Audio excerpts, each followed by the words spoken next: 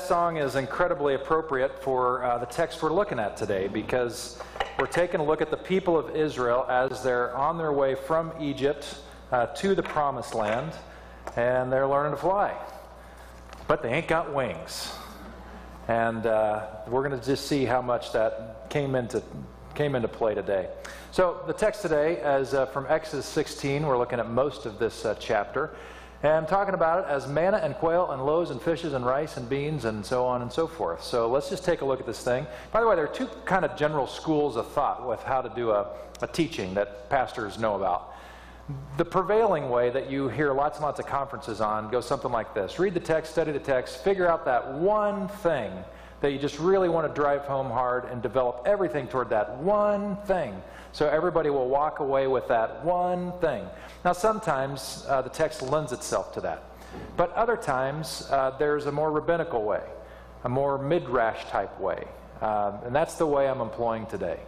This story has so much meat in it, kind of pun intended, uh, that I can't just give you one thing. There is kind of this one prevailing point that we're going to end with that you'll see is related to all the others, but there is so much here. So here's, here's my uh, terrible word to you.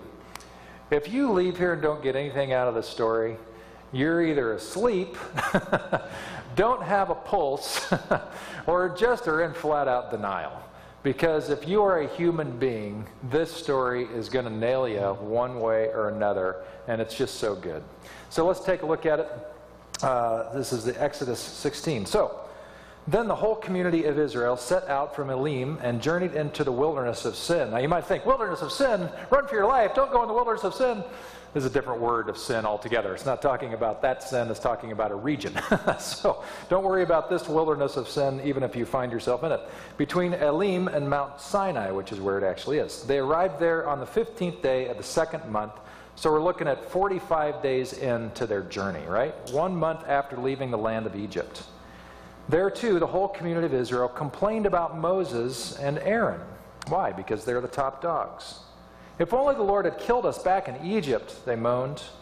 There we sat around pots filled with meat and ate all the bread we wanted.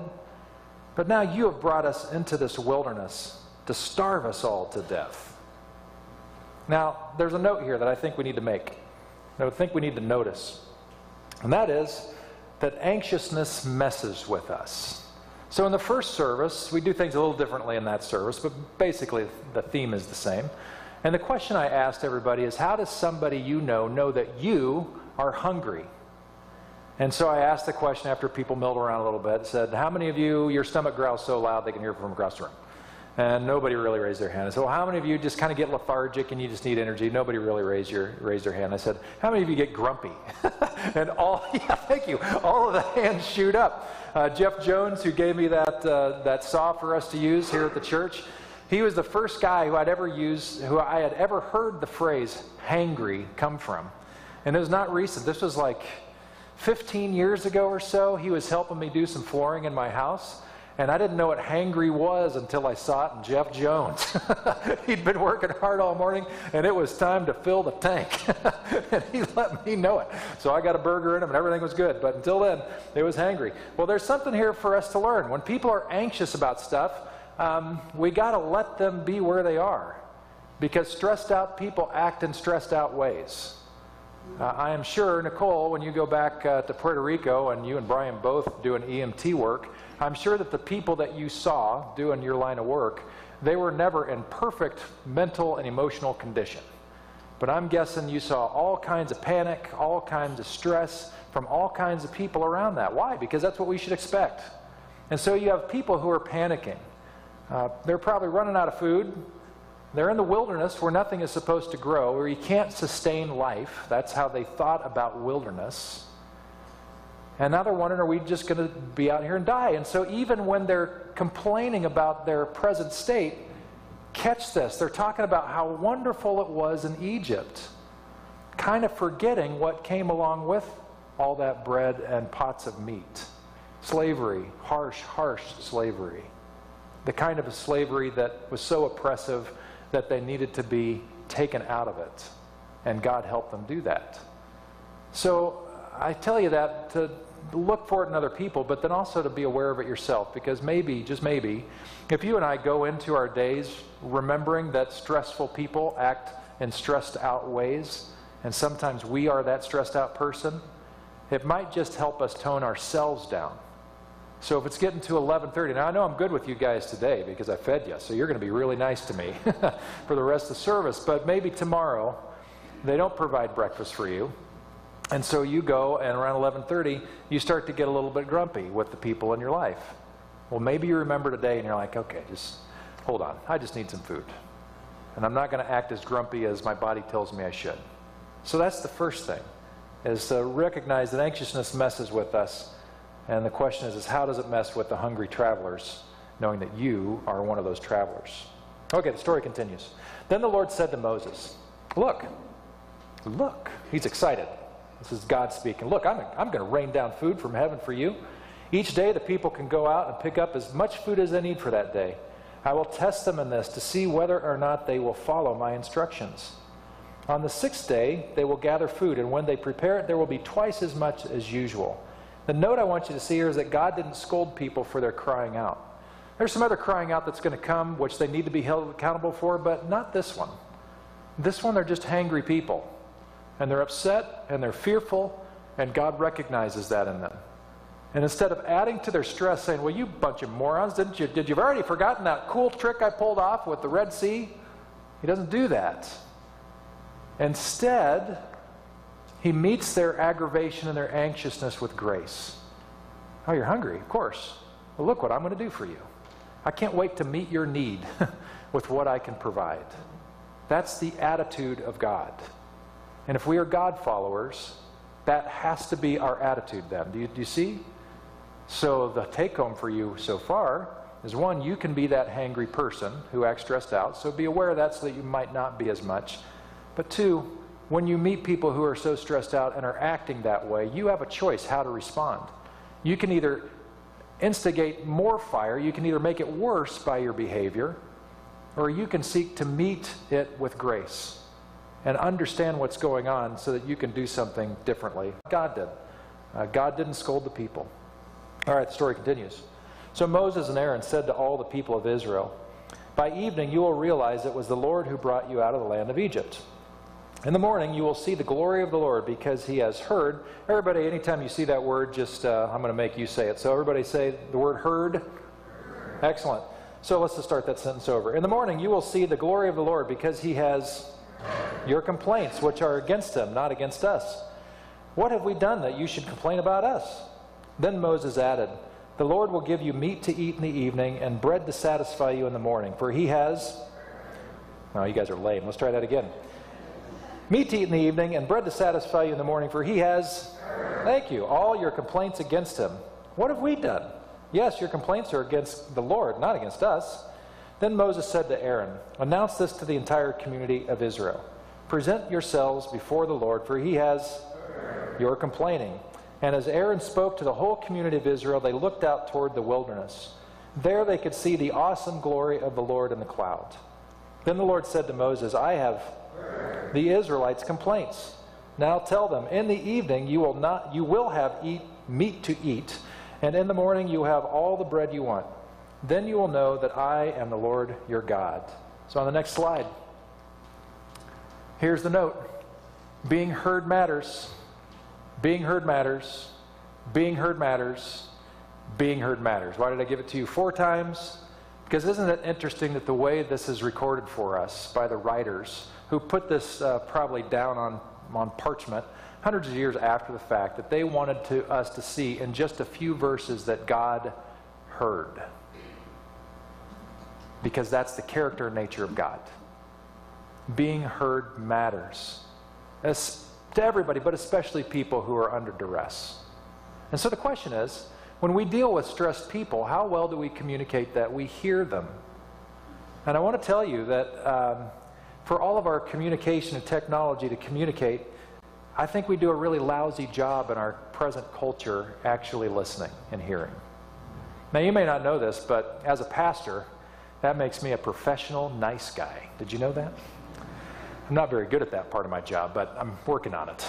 But you know what I've learned? Um, is that because because I am a pastor and I actually care about you and I care about people in general, I, I'm very curious. And so I ask a lot of questions of people. And when I ask questions of people, you know what? I actually want to know what the answer is. Which means that when I ask you how you're doing and how do you like your job and how's your world going, it means I'm actually wanting to know what's going to come out of your mouth. I'm not already formulating what I'm going to say next after you get done talking so I can have the mic again. It's kind of ironic that the guy that has a mic for 40 minutes every week. but anyway, other than that, you have to listen to me now, don't you? You know what I've noticed? Is that when I do lunch or coffee with somebody, and my mission is just to get to know them, one of us ends up having a hot meal. And it's me. Because I'm the one that's asking the questions. And what I've discovered is, very few people actually get somebody in front of them who ask questions and want to hear the answer. You ever notice that? And so it doesn't surprise me anymore when people can do a monologue for half an hour, which I'm cool with, because nobody else does. And so here we have God who is with a whiny, complaining, necessarily group. They're upset, they're stressed out, they're hungry. And God makes sure that it is communicated that God has heard them. So not only do we learn something from God's character about how we treat people in their stress, we don't add to their stress, we do something to meet their stress and bring more shalom where that stress is disturbing shalom. But now we also go the next step and we do whatever we can to make sure they know that we have actually heard them, which often means we have to re communicate what we just heard them say. So you tell me your work is terrible? Is that what I'm hearing that your work is really stressful?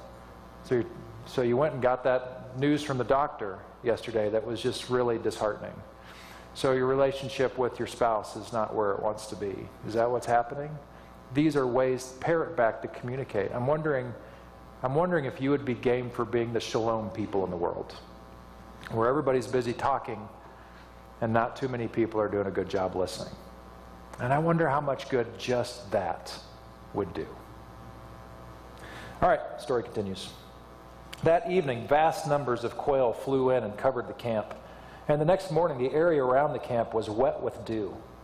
When the dew evaporated, a flaky substance as fine as frost blanketed the ground. The Israelites were puzzled when they saw it. What is it? They asked each other. They had no idea what it was. And Moses told them, It's the food the Lord has given you to eat.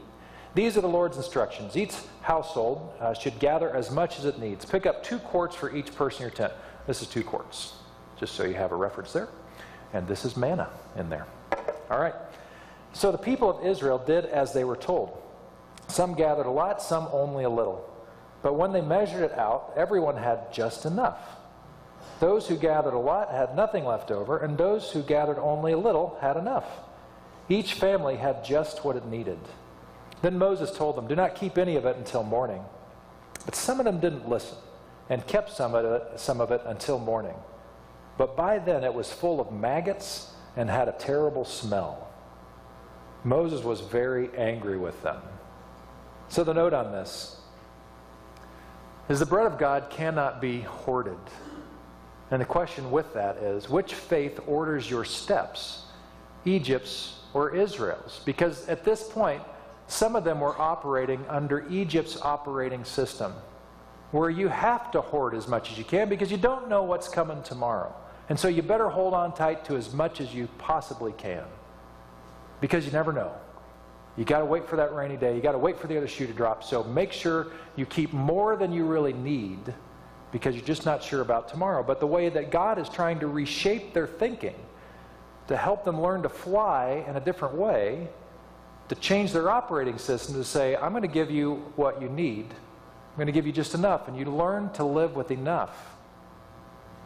Gandhi, uh, related to this way of thinking, said, The world has enough for everyone's need, but there's never enough for everyone's greed. And Jesus, long before Gandhi, uh, caught on to this. He says, You cannot serve two masters. You cannot serve both God and mammon, and mammon refers to stuff, money, things. And we have that before us. Two different ways to think. There's a biblical scholar named Leander Keck. He says it this way They want to establish a surplus, these Israelites, to develop a zone of self sufficiency. The people in the wilderness immediately tried to replicate the ways of Egypt by storing up and hoarding out of anxiety and greed. However, this bread, bread of another kind given by God, cannot be stored up. The narrator takes pains to underscore that stored, that stored up surplus bread is useless. Bread that reflects self sufficient anxiety and greed will have no food value for Israel, so that the bread of disobedience breeds worms, turns sour, and melts. It's an interesting insight. But you know what? It's not just about bread, because we don't have much manna around anymore. We're not even exactly sure what that ever looked like or was. It's just part of the story. But you know what? There's a different substance that has the same experience and same result. So I was once with this guy, spent an afternoon with him, and have a very interesting conversation. As I was getting to know him, I discovered pretty quick that this guy was really well versed in the scriptures. I mean, he even showed me his worn out Bible with lots and lots of highlights in it. One that he'd been going through for years. And then he told me a little bit about his day, about how he had quiet time in the morning to do some meditation and prayer, and how most of the day he would listen to, um, to uh, radio preachers uh, all day long just to fill himself up with the goodness of God. And so I was like, wow, that's okay. That's, that's interesting. That's, that's something. The more he talked, though, the more a curiosity developed in me. Because when he would talk about his neighbors, none of it was good. Apparently, this guy lives with the worst community in the world. I mean, nobody was nice to him, and nobody was treating him well at all. I couldn't believe this poor guy. And then he started to talk about the world at large and how awful that person was, and that president was, and that congressperson, and this leader, and that leader, and that preacher, and blah, blah, blah. And everything that was coming out of this guy was just negative. It was awful. I started to think about this passage, the manna from heaven, about how you can't hold on to it. You can't store it up, or else it, it starts to just stink and grow maggots and stuff. And so he was asking me for help. And so this is the part where you realize I have some work to do on my delivery. But so he asked me, and it was a place where he really wanted to know what I thought. And so I said, Well, man, I think I know the problem. I think you're constipated. well, he wasn't real excited to hear that. I said, No, I don't remember talk, I'm not talking about your bathroom tendencies here. But here's what I'm seeing, man. Uh, you are full up to the neck with understanding about the love and the grace of God, but you are not letting any of that out. You, it's not flowing out, and it is, it is rotting like leftover manna in you. And I think that's how it really works. I think if you try to learn, book smart, how to be loving and graceful, and you've got it all figured out, but you never actually let it out, I think it rots. And I think it rots you.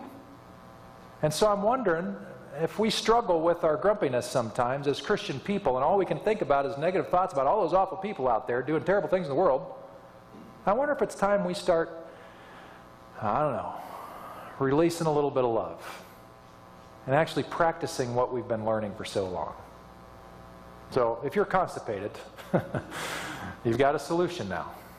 Maybe it's time to actually start working this out. Jeff Jones um, told me there's a, there's a recovery uh, statement, something like the only thing worth keeping is that which you are giving away, or the only thing you can keep is that which you give away. And that has to do with love. The only way you grow in love is by loving other people. Otherwise, it's just manna that will rot. Okay, we continue the story. After this, the people gathered uh, the food morning by morning, each family according to its need. And as the sun became hot, the flakes they had not picked up melted and disappeared. On the sixth day, they gathered twice as much as usual, four quarts for each person instead of two. Then all the leaders of the community came and asked Moses for an explanation. He told them, Well, this is what the Lord commanded. Tomorrow will be a day of complete rest, a holy Sabbath day set apart for the Lord. So bake or boil as much as you want today and set aside what is left for tomorrow. So they put some aside until morning, just as Moses had commanded. And in the morning, the leftover food was wholesome and good, without maggots or odor. Moses said, Eat this food today, for today is a Sabbath day dedicated to the Lord. There, you, there will be no food on the ground today. You may gather the food for six days, but the seventh day is for the Sabbath. There will be no food on the ground that day. Now, some of the people went out anyway on the seventh day, but they found no food. The Lord asked Moses, How long will these people refuse to obey my commands and instructions? They must realize that the Sabbath is the Lord's gift to you. That is why he gives you a two day supply on the sixth day, so there will be enough for two days.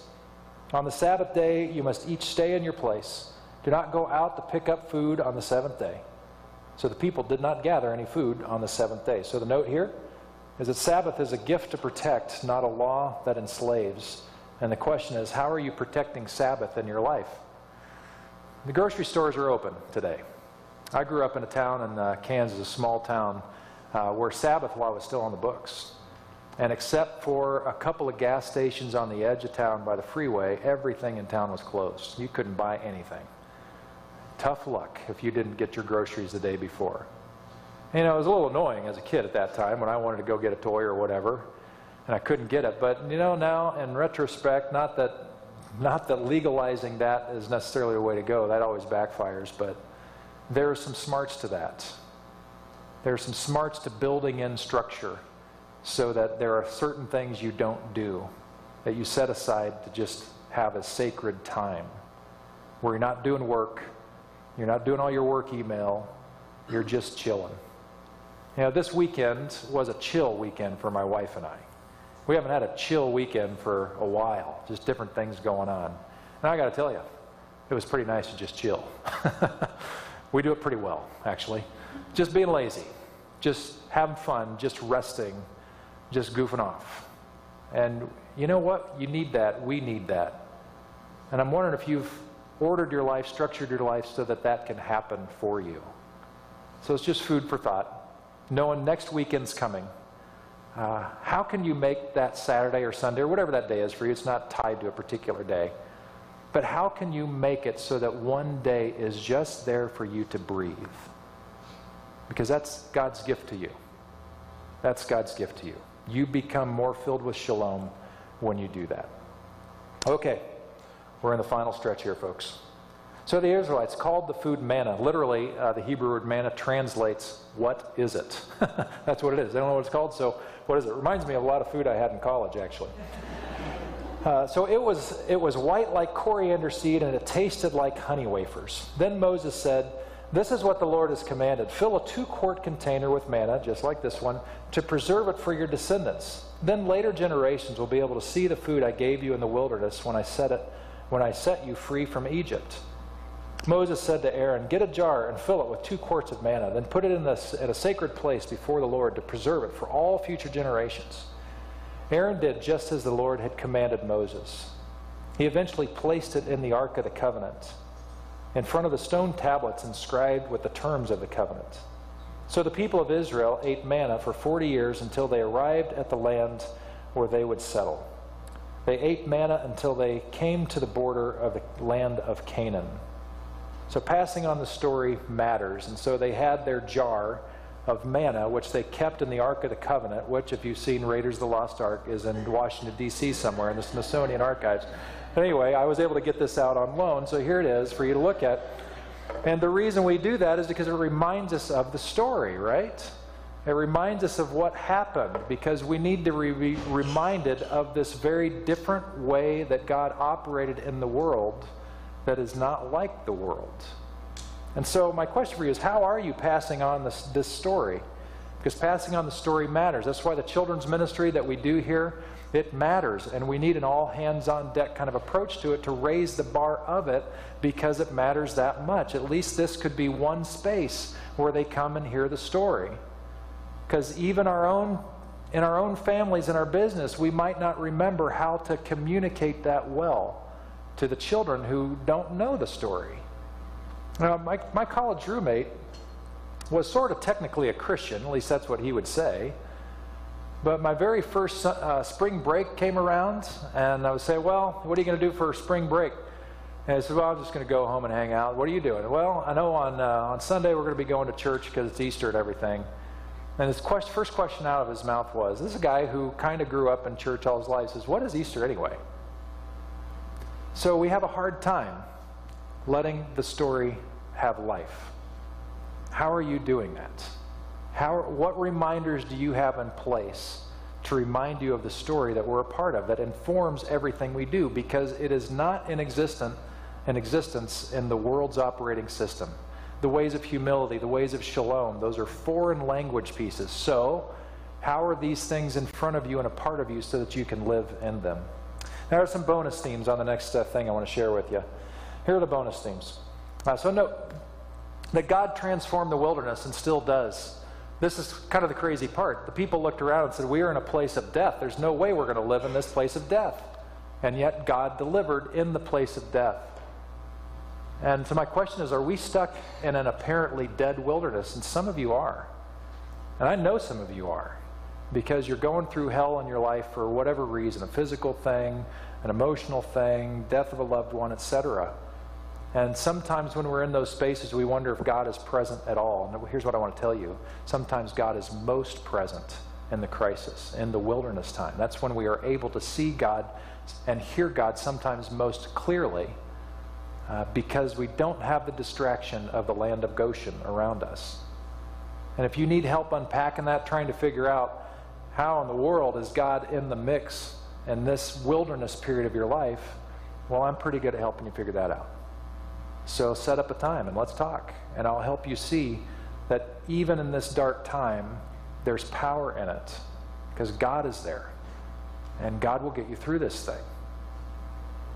In fact, those darkest times become our most powerful life changing moments in our lives. And I don't want you to miss out. So let me know how I can help. Another note Jesus fed 5,000 plus uh, from next to nothing. Um, this is recorded in three of the Gospels that he did it twice, and then Gospel of John, he picks it up and, and mentions that it happened. So I'm wondering if you were in the crowd that day and you grew up hearing about this jar of manna that's in the Ark of the Covenant, and now you're sitting here and listen to this guy who seems to be anointed of God, doing incredible things, and all of a sudden, food in abundance is before you from virtually nothing, as the story goes. What dots are you going to connect? So the earliest people who heard Jesus, who were part of that story, who remembered that story, they're saying, just like God provided manna in the wilderness, so we are seeing God do it again through the person of Jesus. Don't miss it. Don't miss what God is saying through this Jesus. And that was part of the big point. And then also, um, Paul, the Apostle Paul, uh, referenced this as well. And so I want to read you just what he had to say, uh, because the very last line of this passage and uh, his letter to the Corinthians, uh, he, he quotes the manna story. So this is what he says to this church. And it has to do with our, our money and sharing and stuff. He says, I'm not commanding you to do this, but I am testing how genuine your love is by comparing it with the eagerness of the other churches. You know the generous grace of our Lord Jesus Christ. Though he was rich, yet for your sakes he became poor, so that by his poverty he could make you rich. Here's my advice it would be good for you to finish what you started a year ago. Last year, you were the first who wanted to give, and you were the first to begin doing it. Now you should finish what you started. Let the eagerness you showed in the beginning be matched now by your giving.